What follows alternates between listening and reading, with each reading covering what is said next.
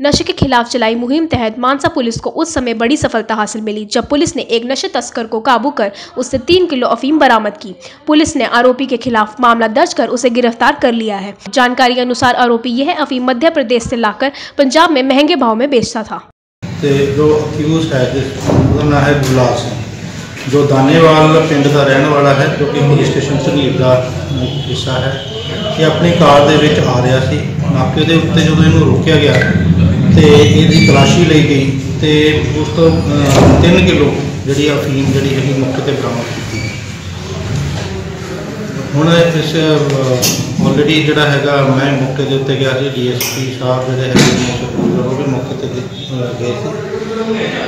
ਬੰਦੇ ਨੂੰ ਗ੍ਰਿਫਤਾਰ ਕਰ ਲਿਆ ਐਫ ਆਈ ਆਰ ਲੌਜ ਹੋ ਗਈ ਹੈ ਔਰ ਉਹਨੂੰ ਜਿਹੜਾ ਹੈਗਾ ਸੀ ਸਟਾਫ ਵੱਲੋਂ ਅਹ, ਦੇ ਜਿਹੜੇ ਪੁਲਿਸ ਸਟੇਸ਼ਨ ਉੱਤੇ ਭੇ- ਭੇਜਿਆ ਜਾ ਚੁੱਕਾ ਹੈ। ਅਫੀਮ ਕਿੱਥੋਂ ਆਉਂਦੀ ਸੀ ਕਿਵੇਂ ਵੇਚਦੇ ਸੀ?